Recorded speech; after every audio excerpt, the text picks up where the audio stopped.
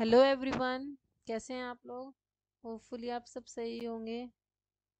तो चलिए, आज हम एक और नई वीडियो में आप लोग का स्वागत है। इसमें हम चैप्टर टू क्लास इलेवेंथ का बायोलॉजिकल क्लासिफिकेशन का फ़र्स्ट पार्ट मैं बना चुकी हूँ।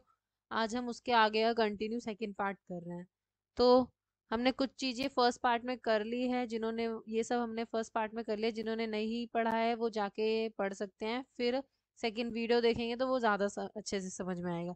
तो आज हम पढ़ने वाले हैं किसके बारे में? प्रोटिस्टा किंगडम, प्रोटिस्टा के बारे में। तो प्रोटिस्टा क्या है?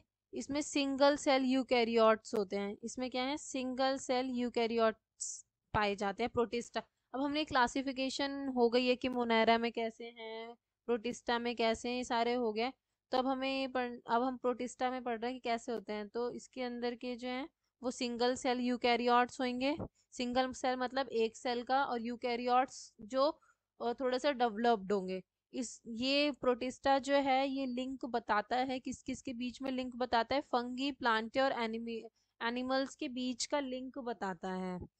तो सबसे पहला, हम फिर इसको कुछ कैटेगरीज में बांटा गया है। पाँच कैटेगरीज में प्रोटिस्टा को बांटा गया है। फ़र्स्ट कैटेगरी है हमारी काइसोफाइट्स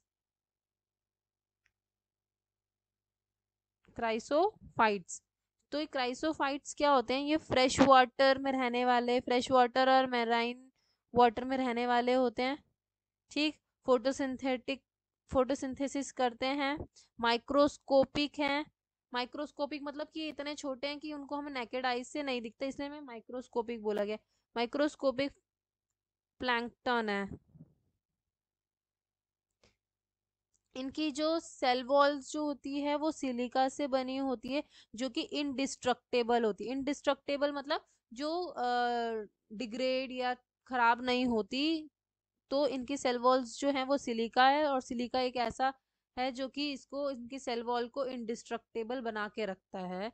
और वो कैसे होता है? ओवरलैप करते हैं एक दूसरे से। जैसे सोप का बॉक्स होता है, एक के ऊपर एक सोप बॉक्स रखी रहती है, वैसे ही ये भी रहते हैं, ताकि ये एक दूसरे की सेल वॉल्स को टूट ना इन डिस्ट्रक्ट ना कर सकें।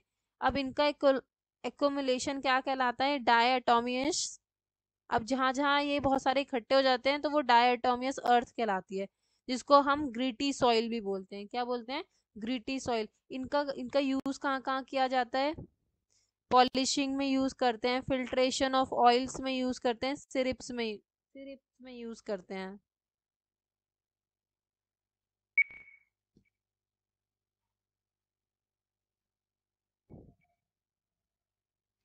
अब हमारे पास नेक्स्ट कैटेगरी है किंगडम प्रोटिस्टा की नेक्स्ट कैटेगरी क्या है?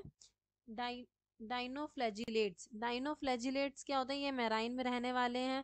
फ़ोटो इनकी फोटोसिंथेटिक है। सेल वॉल है स्टिफ इनकी सेल वॉल जो है स्टिफ सेलुलोज से बनी हुई है। सेलुलोज प्लेट से। ठीक है, इनकी सेल वॉल इनके पास दो फ्लैजिला होते हैं। एक लॉन्गिट्यूडनली काम करता है और दूसरा कौन सा होता है? ट्रांसवर्सली होता है। जो कि in furrow between the walls plate इनके बीच में एक लॉन्गिट्यूडनली रहता है और एक ट्रांसवर्सनली रहता है। इनके एग्जाम्पल्स हैं ग्वाइनोलेक्स जो कि बहुत ज़्यादा रैपिडली मल्टीपल मतलब मल्टीप्लाई होते हैं और जिसकी वजह से क्या होता है, हमारा मतलब रेड टाइट्स क्या है, जो जिसमें हमारा सी जो होता है वो रेड कलर का दिखता है, वो वो इन्हीं की वजह से होता है। प्रोड्यूस टॉक्सिन्स कुछ टॉक्सिक सब्सटेंस भी रिलीज़ करते हैं, जिसकी वजह से जो दूसरे एनिमल्स वहाँ पर रह रहे हैं, जैसे फिशेस वगैरह, वो उनको हार्म होता है। नेक्स्ट है हमारे पास थर्ड कैटेगरी यूग्लिनॉइड्स यूग्लिनॉइड्स क्या होते हैं? ये स्टैगेंट वाटर स्टैगेंट वाटर मतलब स्टेबल वाटर में पाया जाता है। अब इनके पास इनकी जो हैव प्रोटीन इनकी जो लेयर होती है, उसमें बहुत सारा प्रोटीन होता है, जिसका नाम है पैलिकल पैलिकल की वजह से क्या होता है, उनकी बॉडी फ्लेक्सिबल बनती है। सन अगर सनलाइट प्रेजेंट है, तब तो ये फोटोसिंथेसिस करते हैं यूग्लिनॉइड्स लेकिन अगर फ़ोटो सनलाइट नहीं प्रेजेंट है तो ये हेट्रोट्रॉप्स की तरह रहते हैं, और क्या हेट्रोट्रॉप्स की तरह रहते हैं, जो कि प्रिडेट प्रिडेटर प्रिडेटिंग करके फिर अपना फ़ूड वो अब्जॉर्ब करते हैं या प्रिडेटर करते हैं अगर सनलाइट इनकी प्रेजेंट है। अगर सनलाइट है तो फोटोसिंथेटिक कर, फोटोसिंथेसिस करेंगे और अगर सनलाइट नहीं है तो ये फोटोसिंथेसिस नहीं करते ये हेट्रोट्रॉप्स की तरह बिहेव करते हैं। जैसे एग्ज़ाम्पल है युगलिना। नेक्स्ट है हमारे पास स्लाइम मोल्ड्स स्लाइम मोल्ड्स क्या होते हैं? नेक्स्ट कैटेगरी हमारी प्रोटिस्टा की स्लाइम मोल्ड जो कि एक सेप्रोट्रॉप सेप्रोफिटिक प्रोटिस्टा है। ठीक है? क्या है? Saprophytic protista.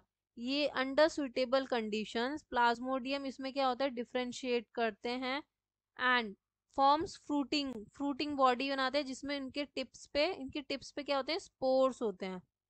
जिसकी, ये टिप, इनके टिप्स पे स्पोर्स होते हैं जो कि फ्रूटिंग बॉडी करते हैं। अब स्पोर्स के पास ट्रू वॉल्स हैं जो कि एक्सट्रीमली रेजिस्टेंट होती हैं। जिस रेजिस्टेंस की वजह से ही वो सरवाइव कर पाते हैं बहुत सालों तक। अगर इनकी वॉल्स जो है रेजिस्टेंट ना हो तो ये इतने ज़्यादा लंबे समय तक नहीं जी पाएँगे, लेकिन ये जी जाते हैं किसकी वजह से? इनकी एक्सट्रीमली रेजिस्टेंस की वजह से। अब ये, अब इनका जैसे स्पोर्स हैं इन पे तो ये डिस्पर्स भी करेंगे और डिस्पर्स कैसे करते हैं? ये डिस्पर्स बाय एयर करंट के थ्रू ये डिस्पर्स करते हैं। नेक्स्ट है हमारे पास प्रोटोजोन्स प्रोटोजोन्स क्या होते हैं? ये हेट्रोट्रॉफिक होते हैं, ठीक है? प्रिडेटर की तरह रहते हैं या पैरासाइट की तरह या तो शिकार करेंगे या तो होंगे अब ये मेनली चार ग्रुप्स में बटा हुआ है प्रोटोजोन। पहला है अमीबॉइड दूसरा है फ्लैजिलेटेड तीसरा है सिलिएटेड और चौथा है हमारा स्पोरोजोन्स चौथा है हमारा स्पोरोजोन्स तो हम एक एक करके इनके बारे में देखते हैं। एमीबॉइड्स क्या है? एमीबॉइड है ये कहाँ रहते हैं? एमीबॉइड फ्रेश वाटर में रहते हैं पहली चीज़।